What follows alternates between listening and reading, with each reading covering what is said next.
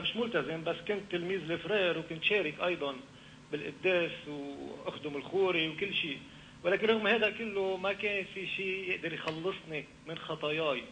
وكنت أعترف وأرجع للخطية أعترف وأرجع للخطية. فنحن بحاجة لتحرير لأنه الرب يقول إن حرركم الإبن فبالحقيقة تكونون أحرار. وكل من يفعل الخطية هو عبد للخطية. المشكلة هي مش أنه نجيب الناس آه، للكنيسة أما للخوري. نحن بدنا نجيب الناس للمسيح. نحن بدنا نجيب الناس للمسيح. الخوري بموت بكرة. والكنيسة ما بتخلص. ما بيخلص إلا المخلص بالنتيجة.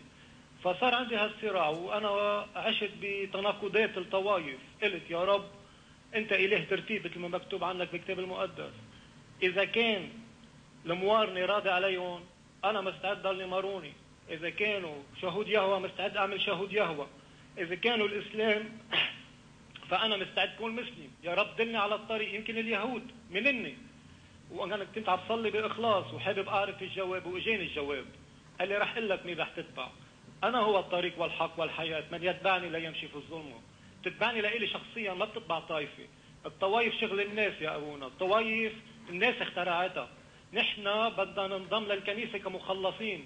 أنا بنقضك بكلامك إنه في كنيسة خطاة وفي كنيسة مخ... كنيسة قديسين. في كنيسة مخلصين. يلي بيقول عنها الرب بأعمال الرسل. وأما الرب فكان يضم كل يوم إلى الكنيسة الذين يخلصون.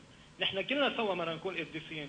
مش بس عندنا القديس حرديني ومر شربل وقديس رفقة ومرمرون والباقيين رايحين على جهنم. 7 ملايين 8 ملايين ماروني لا مش هيك. نحن بدنا نعترف بواقعنا ونكون أبطال مثل آه مثل بابا روما. نعترف بدنا أبطال بلبنان يعترفوا مثل بابا روما مثل ما نشر ملف التعذيب الديني من شي يومين. نحن ما بدنا نناقض بعضنا. نحن بدنا نعيش للمسيح. وحدة الكنيسة بتكون وقت الناس بتفوت بالمسيح. هيك تتوحد الكنيسة.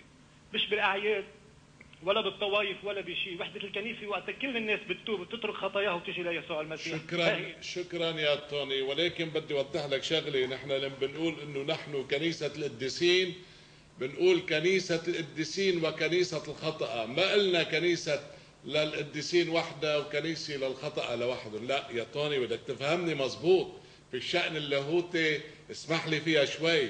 هذه الكنيسة هي كنيسة القديسين وكنيسة الخطأ في الوقت ذاته ولكن هي كنيسة المسيح ككل. سيدنا قال الكلام. ما بعرف أنا ما حبيت جاوبه كما أنا مرة سئلت من شخص مسيحي ولكن غير كثير ممارس. نعم. أنه كيف بنشوف ناس خطأ في الكنيسة؟ نعم. يعني ناس ما ما بمثالية المسيحية. فقلت المسيح شبه الكنيسة بمستشفى. هالمستشفى بنقيس نجاحه. ما إذا في مرضى بده يكون في مرضى. بس بنقيس نجاحه اللي بيدخل بيستفاد أو لا؟ ما هو إجا للمرضى إجا لل فبهالمستشفى نحن بنشوف الطبيب بنشوف المريض كثير بنشوف المريض قليل بنشوف اللي عم بيصح بنشوف عنده حالة صعبة. ما فينا نقول إنه الكنيسه بس اللي بياخذ شهادة حسن سلوك يدخل عليها. نعم. آه، الضعفات في الكنيسة منها سبب للعثرة مع إنه هي تعثر. لهلا عم ولكن سبب أن نرمي ذواتنا حتى يكونوا الناس هل سمعنا أسئلتهم قبل شوي؟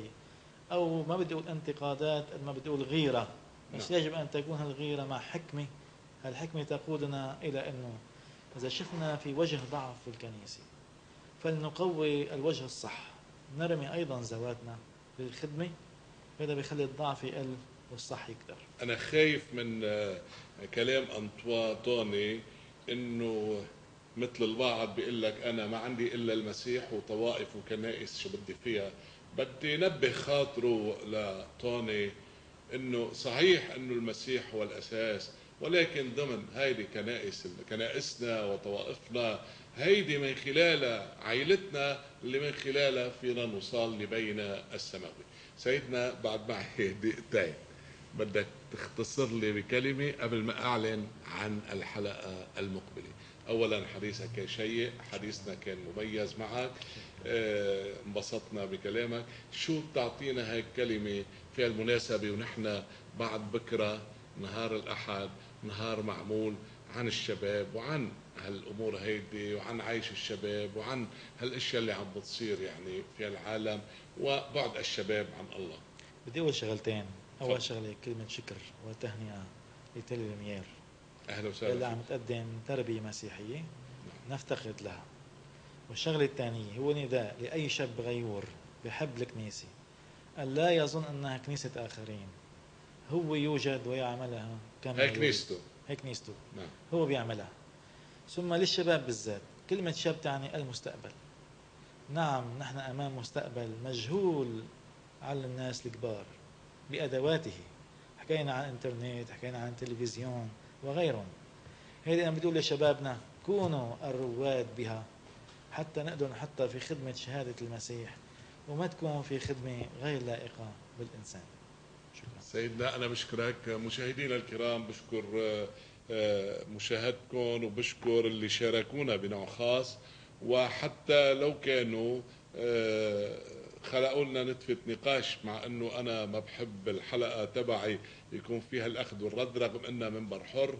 إنما نفهم على الواقع تبعنا على واقع ما يقوله الضيف وعلى واقع ما ننقله لأنه تعليم الكنيسه هو تعليم الكنيسه فيها هناك أخطاء في مشاكل في سقوط إلى ما هنالك.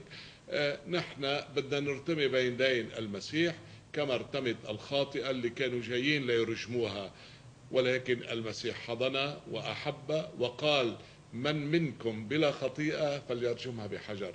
نحن من هذا المنطلق نقول جميعنا خطأ ونسعى إلى الكمال من خلال ربنا يسوع المسيح. حلقتنا كانت كتير مميزة مع سيدنا المطران بولس على أمل إن نلتقي فيه مرة ثانية